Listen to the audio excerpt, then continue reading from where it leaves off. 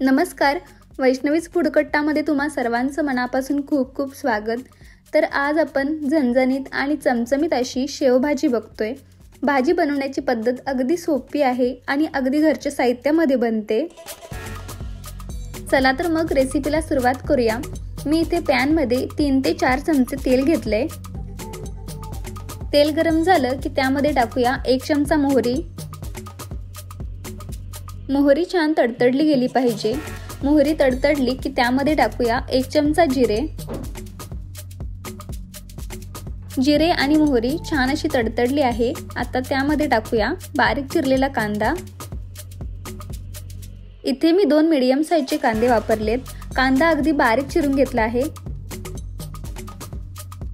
कांदा चांगला परतून घ्यायचा. कांद्याला छान गुलाबी कलर येईपर्यंत कांदा परतून घेऊया. दोन ते तीन मिनटं कांदा छान असा परतून घेतलाय. कांद्याला छान गुलाबी कलर आलाय.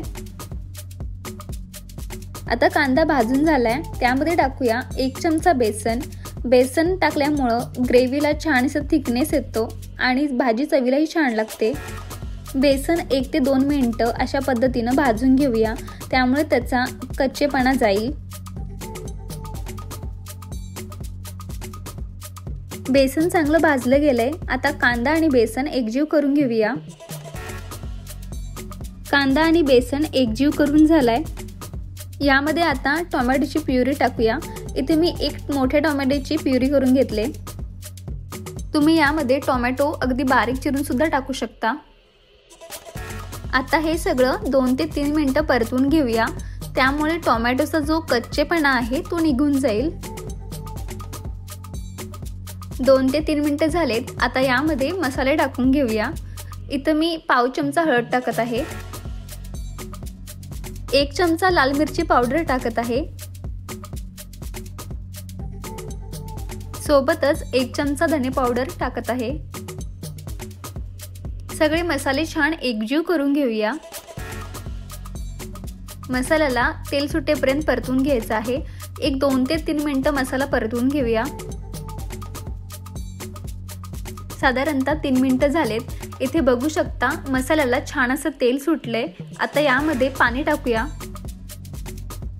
आता यामध्ये एक ग्लास पाणी टाकूया. जेव्हा पाणी टाकतो तेव्हा गॅसची फ्लेम हाय ठेवायची. त्यामुळं फोडणी छान बसते. सगळं व्यवस्थित एकजीव करून घेऊया.